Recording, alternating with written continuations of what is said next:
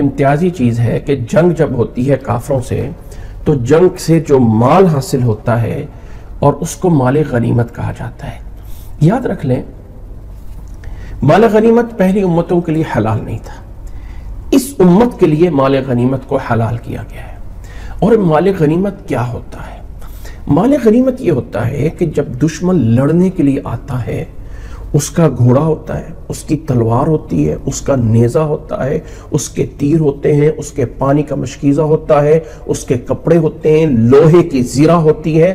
اور عربوں کے ہاں جو جنگی ہتھیار ہیں، یہ بڑی دولت سمجھی جاتی تھی۔ یعنی جیسے ہمارے آج کل سونا چاندی بڑا ہے، تو عربوں کے ہاں گھوڑا بہت بڑی چیز ہوتی تھی۔ ان کے جو ہتھیار، تلواریں، نیزے، یہ بہت بڑا مال سمجھا جاتا اس لیے وہ تلواریں لٹکائے رہتے، اوپر جو ہے لوہے کا لباس پہنا جاتا۔ یہ چیزیں جب آتی ہیں تو جب پورا لشکر آتا ہے تو ان کے ساتھ خیمے بھی آتے ہیں، ان کے ساتھ کھانے پینے کا سامان بھی آتا ہے۔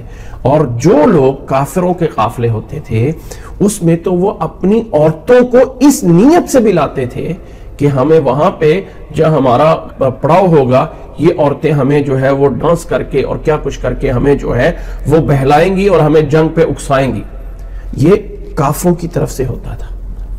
تو مسلمان جب اس کے ساتھ لڑائی ہوتی ہے آپس میں، تو کافروں کا وہ مال جو جنگ میں ہوتا ہے، کافر قتل ہو گئے، مارے گئے، بھاگ گئے، اب پیچھے جو مال بچا ہے، ان کی عورتیں بچی ہیں، ان کے جانور گھوڑے، اس کو مال غنیمت سمجھا جاتا ہے۔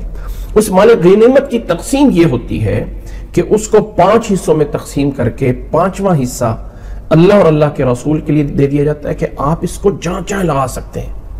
اللہ کے نبی صلی اللہ علیہ وسلم وہ پانچواں حصہ جو ایک ضرورت مند لوگ ہیں، فقراء ہیں، مساکین ہیں، محتاج ہیں، ان میں تقسیم کر دیتے تھے۔ جیسے کہ دسویں سپارے کی شروع میں صورت انفال میں ہم پڑھ کے آئے ہیں۔ وہ ہے مال غنیمت۔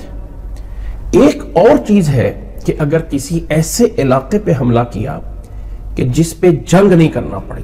اب جیسے بنو نظیر کا تھا، مدینہ کے قریب یہ لوگ باتتے تھے، نہ ان کے لیے سفر کرنا پڑا، نہ گھوڑے دوڑانے پڑے، اور نہ ان کے ساتھ لڑائی ہوئی۔ اللہ نے ان کے دلوں میں روب ڈال دیا تھا اور اپنے قلعوں میں بند ہو گئے، اور پھر اس بات پہ پیغام بھیجا کہ ہم اس بات پہ صلح کرتے ہیں کہ ہم مدینہ چھوڑ کے نکل جائیں۔ یہ ان کے بارے میں فیصلہ ہوا اور انہوں نے منظور کر دیا، کوئی جنگ لڑائی نہیں ہوئی۔ اب یہ جو لوگ اپنا مال، اپنا سب کچھ، اپنا علاقہ، کچھ سب کچھ تو اٹھا نہیں نہ سکتے تھے۔ کوئی کنٹینر یا بڑی گاڑیاں تو نہیں ہوتی تھی اپنے جانوروں پہ کتنے جو ہے اٹھا سکتے ہیں؟ تو جتنا سامان اٹھا سکتے ہیں، اس کے باقی بچا ہوا جو مال ہے، اس کو مقابلے میں لڑائی نہ ہو، اس کو مال فے کہا جاتا ہے، فی۔ تو مال فے اور مال غنیمت میں فرق یہ ہے کہ بال غنیمت کا پانچواں حصہ نکال کے باقی جو ہے جو لڑنے والے مسلمان آئے ہوتے ہیں ان میں برابر سے تقسیم کر دیا جاتا ہے۔ لیکن مال فے کا حکم وہی ہے جو مال غنیمت کا پانچواں حصہ نکالا گیا ہوتا ہے۔ اس کا جو پانچویں حصے کا حکم ہے، وہی والا حکم مال فے کے اوپر حکم آتا ہے کہ اللہ اور اللہ کے رسول اسے جہاں چاہے خرچ کر سکتے غریبوں میں، مسکینوں میں، اپنے گھر پہ آپ کی رائے اس میں ہوتی ہے، جہاں اس کو خرچ کرنا چاہیں کر سکتے ہیں۔ اللہ کے نبی صلی اللہ علیہ وسلم مدینہ منورہ میں یہ جنگی واقعات کے بعد جو مال فے آتا تھا یا وہ مال غنیمت کا پانچواں حصہ آتا تھا، اسی میں سے اپنی بیویوں کا راشن جو ہے وہ ڈلوا دیتے تھے اور باقی غربا اور مساکین میں تقسیم کرتے تھے۔ یعنی اس طرح کرنے والوں پہ یہاں پہ کوئی لڑائی نہیں ہوئی تھی، کوئی گھوڑے نہیں دوڑائے گئے تھے۔ اب یہ مال فے جو ہے، یہ تقسیم ہونا تھا مکے کے تمام مسلمانوں پہ۔